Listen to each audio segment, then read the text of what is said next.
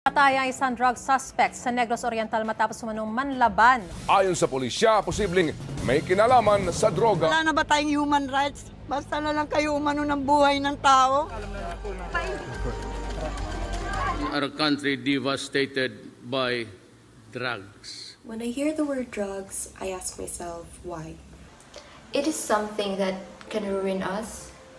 Like, why would people want to try something that is clearly harmful for them? illegal. addiction. a distraction in every person's life. And can be a hindrance to our dreams. It becomes a disease that they are unable to control. It's negative. Um, it's not a good thing to do. It's never an option. Drugs is like a monster. It will literally beat you down. Why do people take drugs? I think the reason why people take drugs is because they're curious of how it feels like. Family problems and peer pressure. Or simply to escape reality. People around them, the people that surrounds them, the friends, family. People take drugs because of peer pressure, curiosity, family or financial problems, or even because of their surroundings. I think it's an escape. You know what? They do it because they see other people do it. Have you met an addict before? Yes, Yes, Yes, I did actually.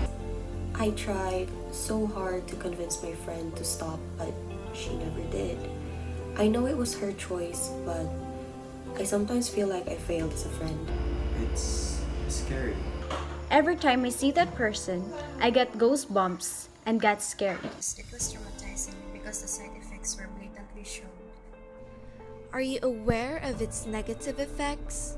Drugs can affect a person's mental and physical health. It keeps you out every night and gives you hallucination.